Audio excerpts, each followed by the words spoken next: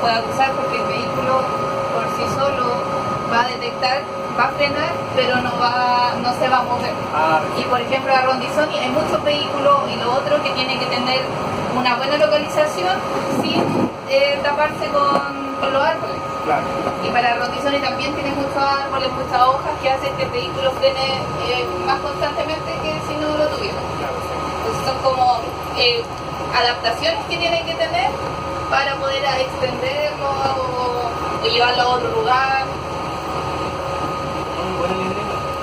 Entonces esta es como la iniciativa para que nos podamos también adaptar a cómo está la tecnología en otras partes del mundo, cómo está el transporte público y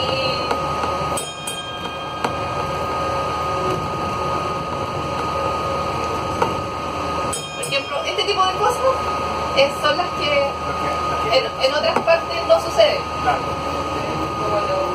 Los los- Claro que la gente también, me imagino que ha habido muchos años sin que un, sin que un vehículo se meta acá, entonces las señales que están en el suelo muchas veces pasan desapercibidas. Sí. Y la otra razón es que, por ejemplo, nosotros no de- en otras partes del mundo no estamos.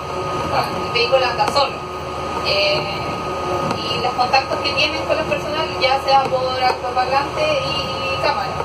En cambio aquí, por el hecho, por ejemplo, de que se cruza gente, de que viene vehículo, eh, de que se pasa algún otro tipo de emergencia, estamos nosotros, en este caso.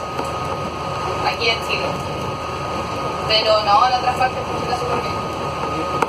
Bueno, es cosa que la gente se acostumbre.